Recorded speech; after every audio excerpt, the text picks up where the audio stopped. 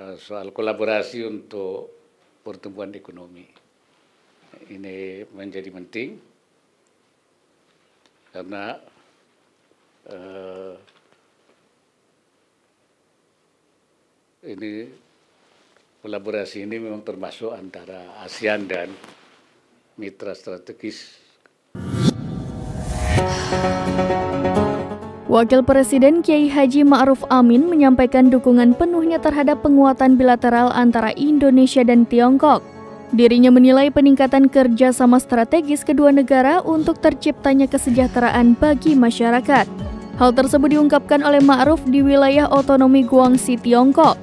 Dirinya menekankan pentingnya kolaborasi antara negara-negara dalam kawasan ASEAN dengan negara mitra strategis seperti Tiongkok.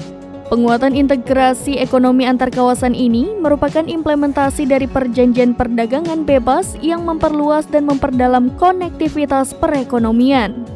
Menurut Ma'ruf, penguatan kerjasama dan peningkatan kolaborasi di bidang ekonomi sangat penting sebab memiliki nilai kontribusi yang sangat besar bagi negara yang bergabung di dalamnya.